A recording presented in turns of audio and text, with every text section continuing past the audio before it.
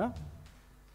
Is it working? Yeah, okay. It was always on my bucket list to wear one of these headsets, so that's great to have that. Good morning. Uh, hope you're doing well. I heard that some of you went to a drag queen bar yesterday. I hope you returned all well. And um, that, that um, uh, in case I, I, I, talk too fast, please let me know. Oh, and uh, now the connection is skipped. That's perfect. That's like in university back in the days. All right. It's as it is um, uh, connecting. I, I, you already heard. I want to talk about um, new forms of storytelling in, in, journalism. I want to talk about um, how uh, which challenges this means in the world that is completely changing. And uh, it says, I'm sorry, uh, is it? Is it? Is it? Yeah, maybe the connection isn't.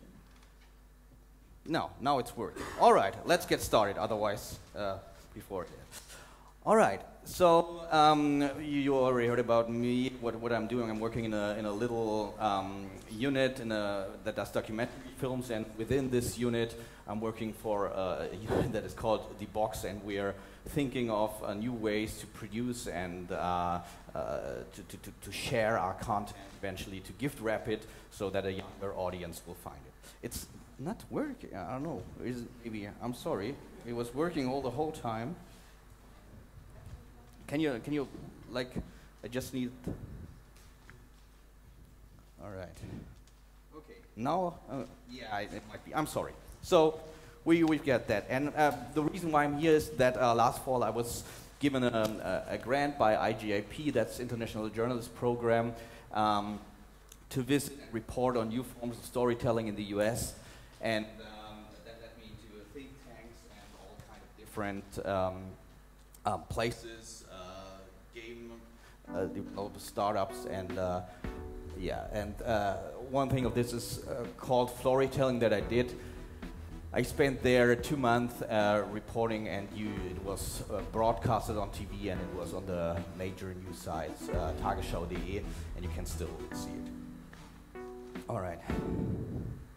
So uh, all I did is that's just uh, some some smaller part done with an iPhone. So that's also a trend you'll face in, in journalism that more and more journalists start using these small devices to report on. And I wanted to be flexible, and so all you're going to see was actually shot with that. So let's talk about journalism in these days. Um, journalism is in, in a deep crisis. Um, it's not a sudden death for old school journalism. Um, in, a, in fact, um, what, what we see is that um, there's a disrupted market. Uh, you see all kinds of new players in the game. Um, it, it, becomes increasingly important to get on the home screens to have smart libraries for, uh, for broadcasters, especially for us as public ones that are uh, facing the problem that younger generations bow out of that uh, linear consumption, and therefore it becomes increasingly important to to be there. And uh, so that's, that's one part. And on the other hand, we see that people are becoming more and more skeptical about the so-called established press. Um, what we see here is a poster saying Lügenpresse. It's uh, German and it means that the press is lying. We see that more and more people are getting skeptical. You see in social media, it's, it's, it's some kind of an accelerator for, um, for all kind of conspiracy theories and people are, more and more people are presuming that uh, we, the established are some kind of twisting reality, that we are, um, uh, that we are censored by the government and stuff like that. And um, on the other hand, there have been failures by ourselves um, when uh, reporting, because of, of, course we do, uh, we're just humans, we, we do fail. And um, if you look at the, the Ukraine-Russian crisis um, and the the refugee crisis uh, happening. Uh, the problem is not that there were failures happening when reporting on it, but the problem was that we weren't transparent and fast enough. So that kind of helped people to, to doubt um, whether this is the, the, the right uh, thing um, going on. It's really okay. So, um, but there's another truth as well. That's it's uh, that there's a gold rush as well in journalism, and um, that's happening at the same time. And um, it's uh, on the one hand side we see that the old media houses they have huge problems, financial problems, especially when it comes to newspapers. Um, but on the other hand, we see that there are new players in the game. You see that Facebook and uh, YouTube they, they, they suddenly become interested in journalistic content and pumping millions of, of dollars in all kind of products that can be also used for um, for journalism. And um, there's some when it comes to, to virtual reality I'll be uh, talking about virtual reality later. But uh, looking at this topic you can see how all it's great uh, uh, uh, how all different kind of industries are suddenly interested in a field that can also be used for journalism. So um, uh, luckily old school press is changing as well um, this is um, at New York Times they, they uh, have, on the one hand they have put a huge amount of money in virtual reality uh, for, for, for, journalism in virtual reality, but they are also working on uh, new forms uh, of, of, of, of, articles. Alexis Lloyd, who is uh, working at the New York Times Research and Development uh, Department, says that the future of news is not an article, and that means that they are trying to, to customize articles so that it fits uh, to your education, to your, to your knowledge, uh, to, to what you've been reading before. And of course, this means, which might also be a problem, um, that you have to gather a lot of information before. So uh, let's hear what um, she, uh, Alexis Lloyd, has to say about virtual, uh, sorry, about uh, the future is not an article.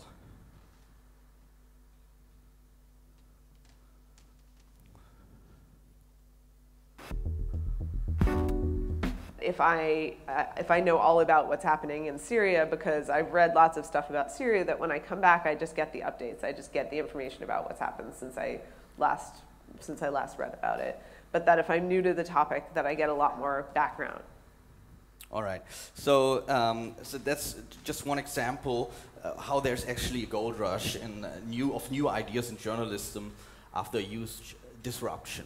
So, uh, what it's all about? Um, I think that um, in the future, more than ever before, journalists will have to rely on two tools, which is on the one hand side, it's empathy, and um, on the other hand, it's uh, keeping eye level. Uh, keeping eye level means uh, that we have to uh, be on an eye level with the user, with the and as well with the protagonists that we are meeting, and that we are reporting on.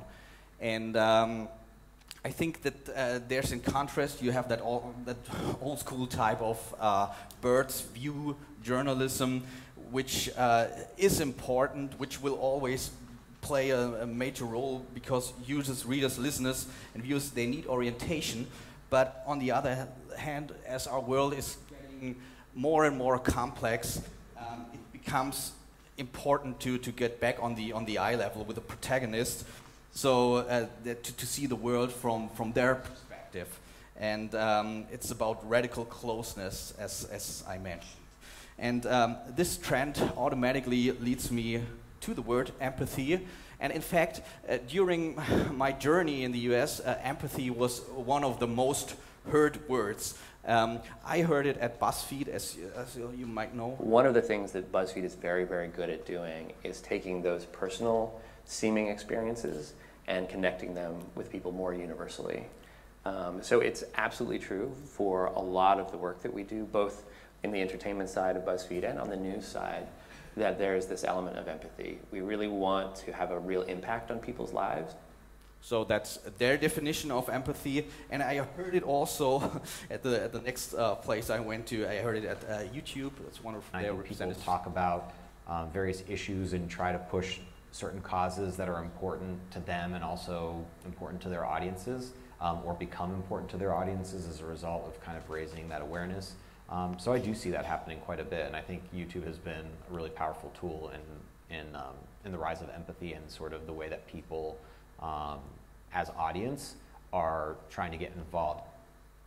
Yeah, so, so and I heard it at a lot of other places, as you will see, and um, so everybody has their own definition of, of uh, empathy, and of course it's an old school word, but it's interesting that in this in this media, new media world, empathy um, becomes such an um, uh, such an uh, important value. Um, and of course, if you look at the dictionary, it says the feeling that empathy means that it's the feeling that you understand and share another person's experiences and emotions, and the ability to share someone else's feelings. Um, so what does that mean for journalism? I do think that virtual reality has the potential to do that. In fact, I think that it's much easier in VR to accomplish this. It's easier than if you compare it to, to classical media. Um, and as I already mentioned, virtual reality is one of the most discussed and hyped uh, uh, terms right now because it's, uh, again, it's an, a very illustrious mix of, of, of, people who are heavily investing in that technique. You have, on the one hand side, you have um, the gaming industry, you have the advertising industry, you have the porn industry, you have, uh, you have science, you have theater, and, and, and also journalism, and they all they are interested. And as this is such a big alliance, this might be a reason why at the end this kind of technique will maybe have a, a bigger impact on our life, as for example 3D uh, um, has like I guess many of you maybe have a, a, TV device that can do 3D, but nobody that I know actually uses it.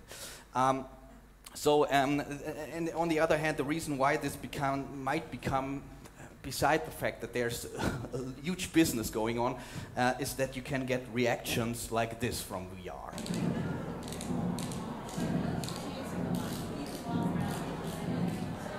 So what do you think?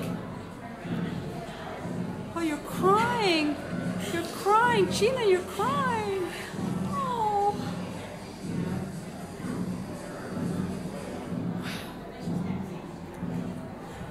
Should I stop? Do you want me to stop filming? Yes. I'm stop filming if you want me to. And th this lady was just watching uh, not fictional content. Uh, content. She was uh, she was watching um, a documentary, uh, a journalistic content, and uh, yeah, and you see uh, the people they react, and sometimes it's strange. Um, like um, before we watch a really short excerpt of documentary film that the VR company Verse one of the major, the biggest, uh, really great company um, has done. Let's hear what their CTO says about VR in journalism. What we found is that virtual reality has the ability to place people into these spaces that they would otherwise have no access to in a, in a way that gives them connection to the people um, in a much more visceral way than you get through separation of a traditional screen. So uh, when somebody looks at you in virtual reality, you, you kind of feel as though you're sharing the same space with them, and that makes you relate to them in a deeper way and have a greater sense of empathy for, for them and the condition that they're in. Yeah, as you, you'll see, uh, his, the company's name, they, they just changed it a few days ago. For, formerly it was known as Verse, now it's called Within, which gives you already a clue what it's all about. It's being within this world. Um, and um, now I want to show you a really, really short excerpt um, of one of their works which you might know, hopefully you don't uh, know that already. Um, it's uh, unfortunately I haven't uh, these hundred pairs of Oculus Rift goggles that I can borrow you so that you can watch it with a with a headset. But uh, so you see the whole 360 degree video, and uh, this video is uh, something they did and which scored really good for a younger audience as well. It's called um, the, the project is called Waves of Grace and it's about um, the, the largest Ebola outbreak in Liberia. And, um, uh, and it's, it's about a, a woman uh, who uses her immunity to care for orphan children in her village. Help us to be your angels on earth. Help us to do your will, even when we fear it.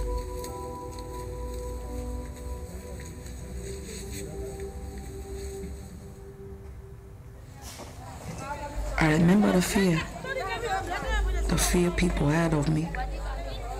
They were too scared to even touch me. And I was scared of my own child. I was scared of the man I loved. Forgive me, Lord. Forgive me.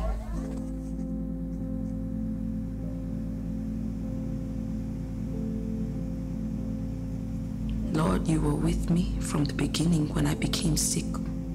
I couldn't eat or drink. I was afraid that if I entered the hospital, I would die. You helped me through the doors, Lord. And then there was darkness. I was lying helpless, and people all around me were dying. The man I loved waited three days more than me to get into the treatment ward. I called for him. I heard his screams, but I never saw him again.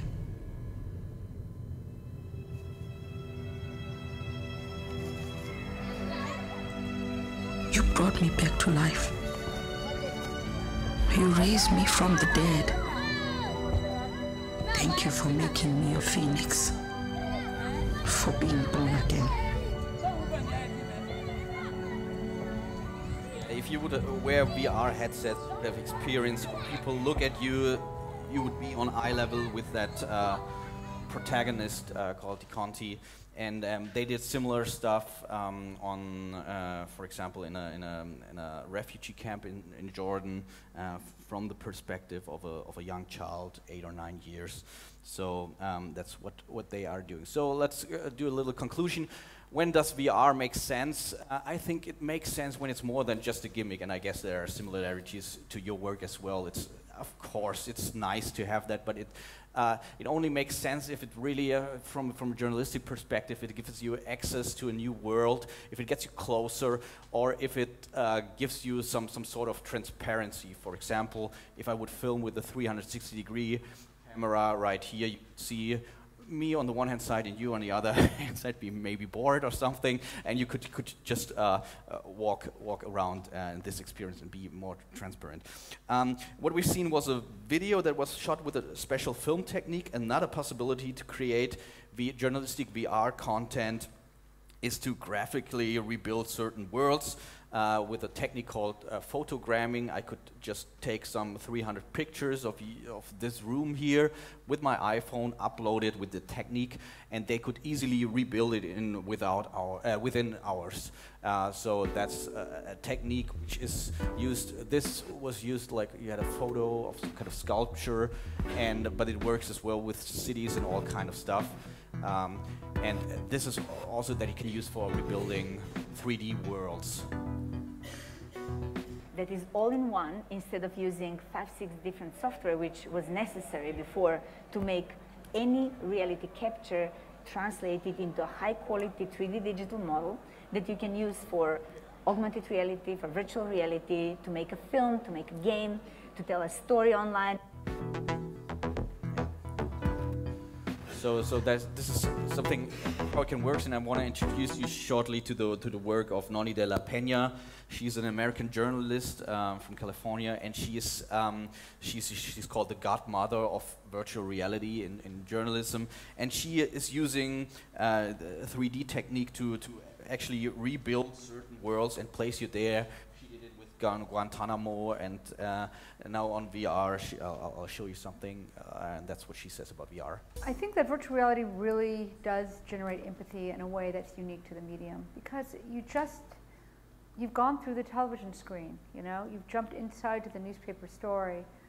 It's not as if people forget that they're here.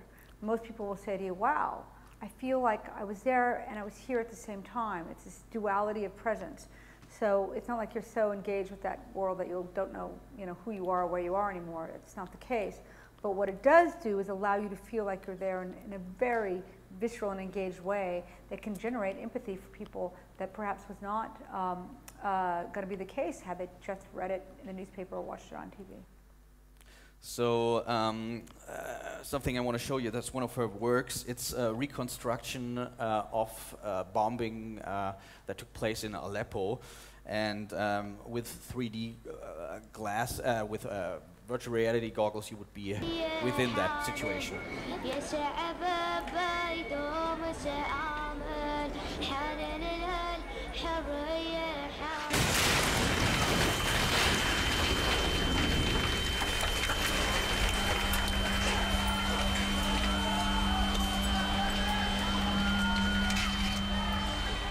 I do tend to pick stories where a live event, a verite event is unfolding, which, which was also the kind of highest bar in documentary filmmaking? How do you make a verite scene, capture something live that's really impactful?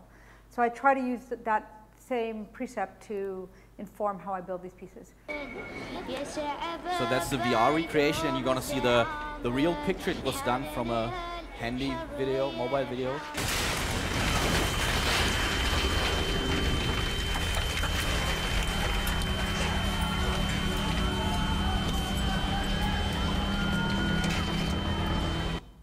So I guess this technique, I don't know how you feel about this, but this uh, technique gives you the potential to be in a, in a world that you, you couldn't be in uh, before. It's much more immersive, and um, that's basically what always journalism was all about. It was about uh, uh bringing you to places you can't be uh, if it's a live coverage or something. So uh, finally, let's talk about the challenges. What are the challenges associated with this, if this technique? The, the users moving increasingly autonomously and independently in our stories, what tasks do we, the journalists, have to accomplish um, who create these worlds? Um, uh, once again, um, we'll see Aaron Koblin he didn't close his mouth actually. uh, um, and uh, it's you, you you always have to be aware that this is a technique which is much more immersive and um, uh, in fact it is used uh, by the military. Um, they're working with it with with people who got traumatized, uh, soldiers. Um, they they place you in virtual reality to to get back into into this world to to fight their their traumas and so on the other hand you have to be aware that you can also easily shock people with that. And um, there will be journalists who, who use that. Uh, for example, if you look at the, at the Orlando shooting uh, that just happened, there might be eventually uh, journalists who, who recreate that world and they say, okay, it's for, for showing you how that, how that uh, shooting took place. Uh, so there might be stuff like that. I think just like any form of media, there's the potential for, for good and bad. Um, eh, I, I, think as media gets more rich and more immersive, uh, the, the potential for extremeness gets uh, amplified as well. I, immersively speaking, you're going to see the whole picture. Uh, you're, you're never going to see the whole picture. Both of those things are true. So, and uh, the, the, the, second challenge um, which is uh, also interesting uh, for you is the huge challenge is uh, dramaturgy um, because um, it's like you will, when you look at all different kinds, whether it's fictional or whether it's journalistic um, works, you'll see that most of them they are just 15 minutes or something and that means that they have a hard time that to really engage people to to to to to stay in the story and it, of course it's exhausting you have still have these huge these huge VR masks and uh, uh, and uh, you have to find some ideas how to get people active. Uh, it's not a lean, lean back medium. So um,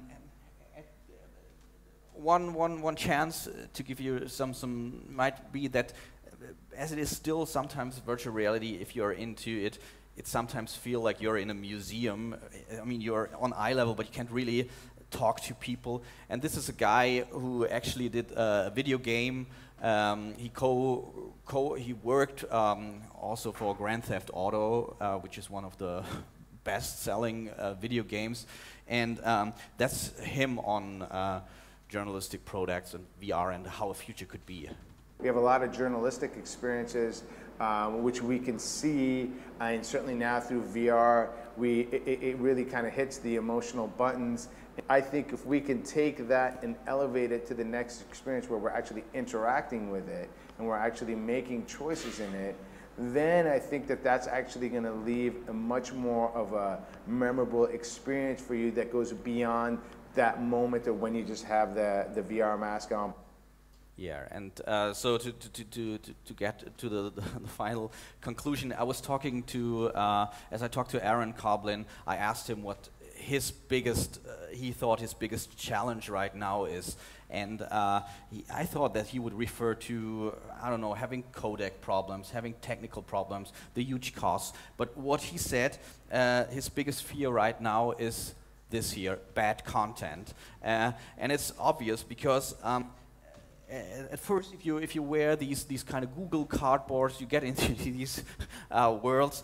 Um, uh, you have to do handicrafts. You have to put the smartphone into them. You have to download an app and content for the app. And if you eventually look at crappy content, you you will be hesitant to do it another uh, further time. And that that wow effect you once have, if you wear these goggles, it will rapidly uh, wear off, and uh, you you really have to think about dramaturgy and uh, and content. So uh, that's it. Uh, thank you very much.